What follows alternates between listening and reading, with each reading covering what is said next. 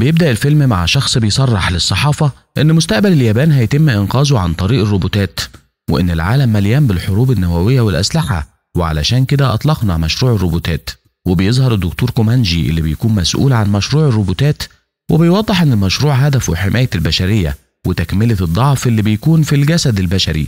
وبنشوف اتنين من الروبوتات بيهاجموا بعض وبيكون في المركز مجموعة من المحللين وبيحللوا نقاط الضعف والقوة عند كل روبوت منهم. وبيكون الدكتور نزاجي منبهر إن الروبوت اللي اسمه جيرو بيظهر مشاعر وعاطفة من العين. ولما بيوصل كومانجي اللي بيكتشف إن نزاجي استغل إنه مش موجود وأخبره عن قدرة الروبوتين على القتال سواء كان جيرو أو ماري اللي كانت متفوقة. وده لأنها متطورة في الناحية القتالية. لكن جيرو طوره الدكتور كومانجي مش لغرض القتال لكن علشان يساعد الناس. وبينزل الدكتور نزاجي تحت للروبوتين وبيكون فخور بماري اللي هو مطورها بنفسه. لكن كومانجي قال له إنه مجرد آلة وكمان مش كاملة. إنما جيرو روبوت عنده مشاعر ومش مهمته القتال. وبيعدي الوقت وبنعرف إن الدكتور كومانجي مات ومر عليه سنة. وإنه ساب وراه بنت كبيرة اسمها ميتسو وطفل اسمه ماسارو. وكان في صحفي دايما بيتتبع ميتسو علشان عايز يعرف معلومات عن أبوها والمشروع اللي كان بيعمله. وهل الشركة هتكمل الأبحاث بتاعته ولا لأ؟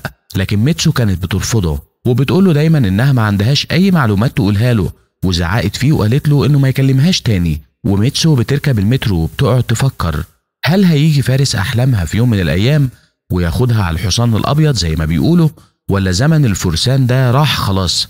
وبتقول كمان إنها أكيد بتحلم لأن كل الناس اختاروا إنهم يعيشوا حياتهم الواقعية قدام الموبايلات بتاعتهم. ولما بتوصل البيت بتاعها وتقعد تحضر الأكل لمسار وأخوها اللي بيسيبها ويدخل أوضته. وبيرن الجرس وبتكتشف ميتسو إنه صحفي تاني وبيطلب منها إنه يسألها شوية أسئلة وهتكون آخر مرة لكنه بيتفاجئ إن في مجموعة من الناس مسلحة.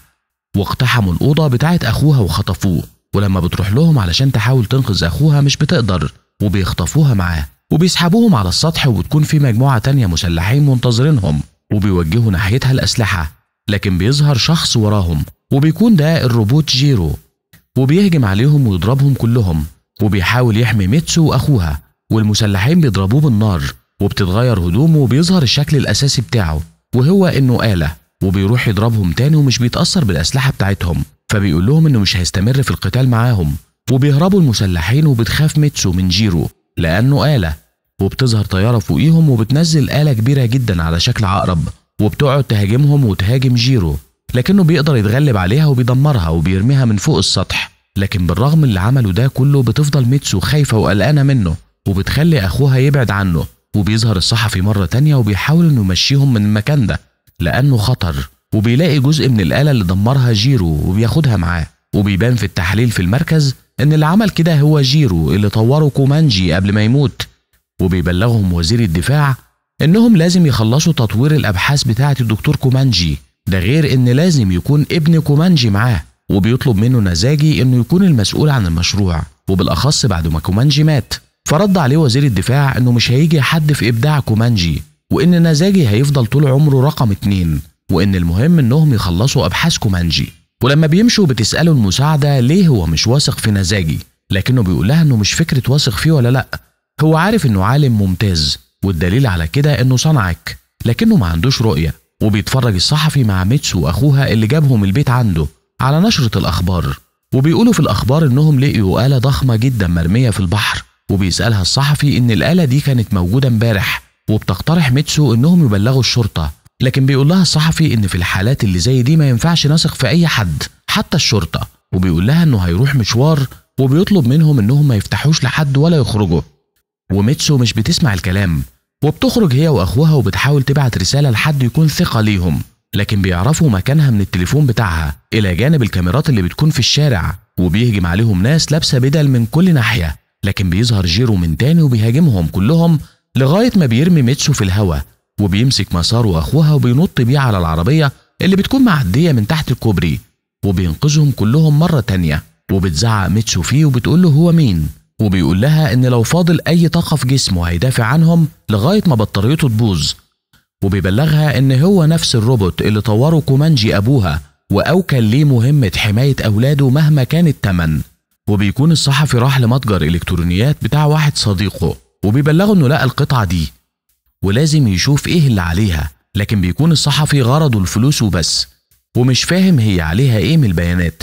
وبيروح وزير الدفاع لرئيس الحكومة اللي بيقعد يسأله هو ليه مهتم بالروبوتات بالشكل الكبير ده؟ وبيقول وزير الدفاع إن الروبوتات هتساعد مستقبل اليابان وهيحافظوا على اليابان ضد أي حروب بعد كده. لكن بيقول له رئيس الحكومة إن الروبوتات هتفضل روبوتات وإن البشر هيفضلوا بشر وإن الروبوتات المفروض ما تاخدش حيز الاهتمام ده ابدا وإن الروبوتات بتخدم البشر مش العكس. وبيدخل وزير الدفاع مركز العمليات وبيكون في قمة الغضب وبيقول إن بعد اللي بيعمله ده بيجي واحد مش فاهم أهمية الروبوتات للبشرية يكلمه بالطريقة دي وبيقول الدكتور نزاجي إنه هيكون المسؤول عن مشروع الروبوتات ومش بيصدق الدكتور نزاجي نفسه إنه أخيرا بقى بروفيسور المشروع كله وجات اللحظة اللي بيتمناها وبينزل ناحية البدروم ناحية الروبوت اللي هو مصنعه بنفسه واللي حاطط فيه كل الإمكانيات الشريرة بتاعته وبيقول له إنه هيوصل إنه هيحكم العالم حتى لو بالدمار وده كله بيكون تحت أنظار ماري الروبوت اللي هو برضه صنعه وبيفضل جيرو مع ميتسو وماسارو وبيقعد يلعب مع ماسارو وبتبص ميتسو عليهم وبتشوف أخوها فرحان ومبسوط بعد ما كان مش بيتعامل مع حد.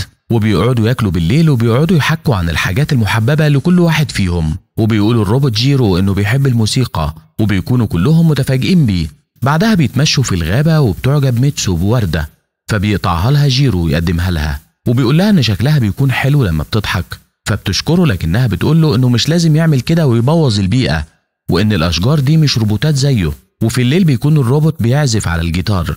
وبتظهر ميتسو وبتحب إنها تشكره على إنه أنقذهم وإنه كمان خلى أخوها يضحك من أول وجديد وإن وجوده فرق في حياتهم. وبيبان هنا إن ميتسو ابتدت تعجب بجيرو لكن دايما بيكون العائق قدامها إنها كل ما تفتكر إنه آلة. وبتقول ميتسو لجيرو عن ذكرياتها مع أبوها اللي كان دايما مجتهد في الشغل ومش بيقعد معاهم وبسببه هما كمان بقوا في المشكلة دي دلوقتي. لكن بيطمنها الروبوت تاني وبيقول لها إن لغاية ما جسمه يتوقف عن العمل هيفضل يدافع عنهم.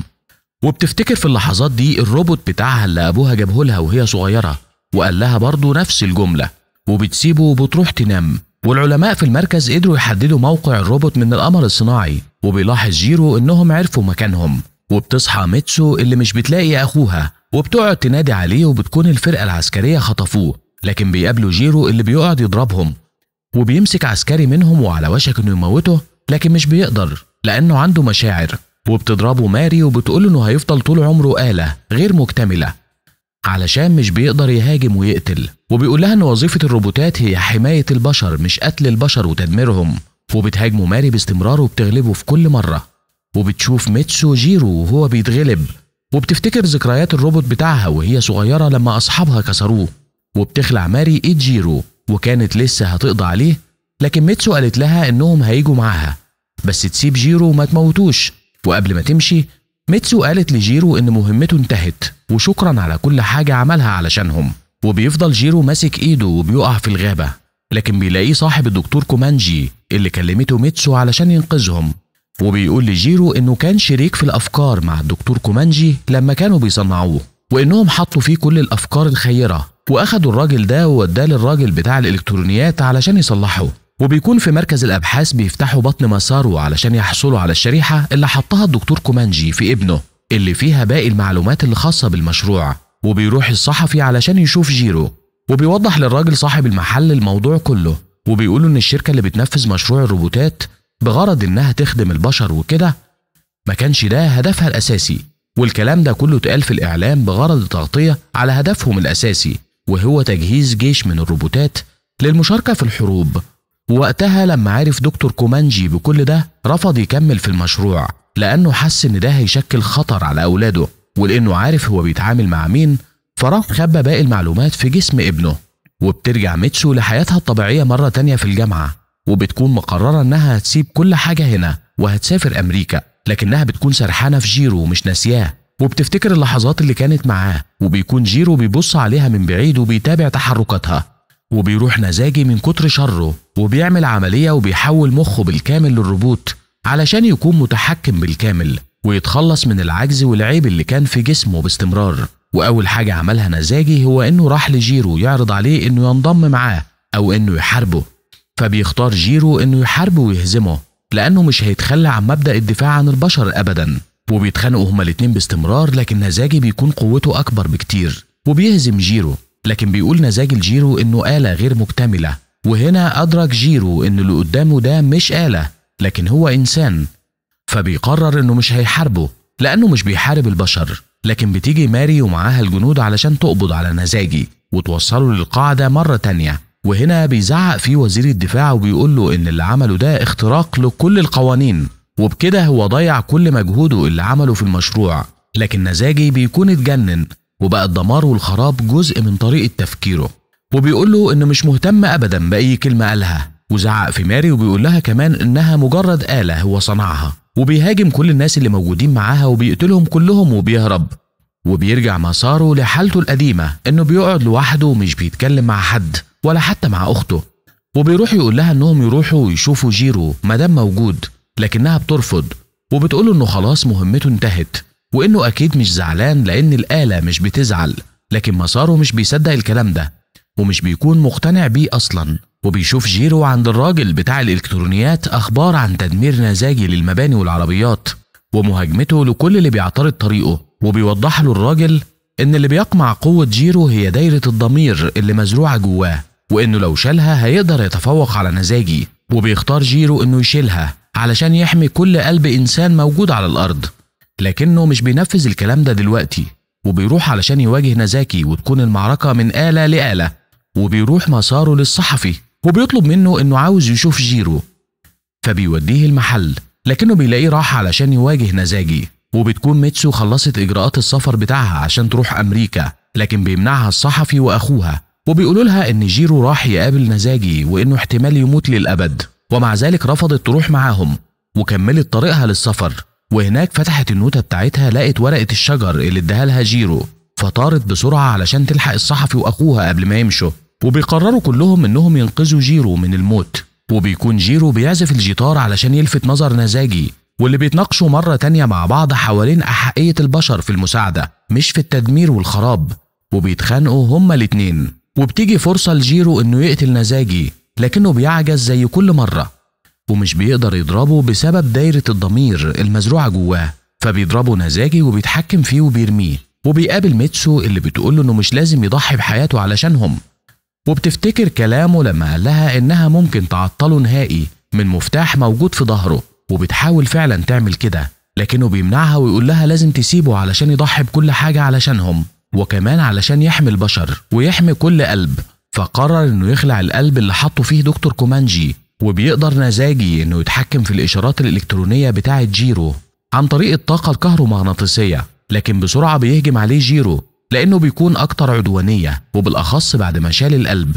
وبيتخانقوا هما الاتنين وبيكسب نزاجي مرة تانية وبيضربه وبيحاول يتحكم فيه من تاني وبيكون جيرو عاجز إنه يعمل أي حاجة لكنه بيقاوم مرة تانية وبيوجه ضربات لنزاجي. وبيكون في اللحظات دي الصحفي بيصور الأحداث علشان يعمل سبق صحفي وبيقرر جيرو إنه يضحي بنفسه وبيرتبط بنزاجي وبتتولد إشارات كهربية شديدة وبيقول نزاجي لجيرو إنه خلاص رمى قلب دكتور كومانجي لكن جيرو بيقول له إنه غلط ودكتور كومانجي موجود جواه وإنه رماه علشان ينقذ قلب كل واحد من البشر وبيحصل انفجار عظيم وبتنتظر ميتسو تشوف مين اللي جاي من ورا الغبار وبيكون جيرو اللي قدر يطلع سليم. وبيقفل الصحفي الكاميرا لأنه اتأثر وراح علشان يساعد جيرو اللي بتكون كل طاقته خلصت.